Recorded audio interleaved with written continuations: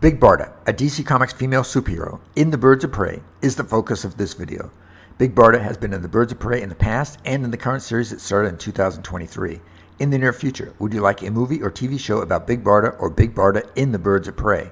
If so, is there an actress or actresses that you want involved? Do you have any plot ideas? Big Barda first appeared in Mr. Miracle number 4 in 1971, but was not on the cover and was created by Jack Kirby. Jack Kirby based Big Barda's physical appearance on Lainie Kazan, who had recently appeared in Playboy. Big Barda is a member of the race known as the New Gods and was born on Apokolips about 250 years ago. Her mother was Big Breeda, whom Big Barda was taken away from at an early age to be trained as a warrior at Granny Goodness's home for orphaned youth. Granny grooms Big Barda to one day lead the Female Fury Battalion, a ferocious pack of warrior women. More videos like this can be viewed at the Comic Excitement Convention Birds of Prey playlist.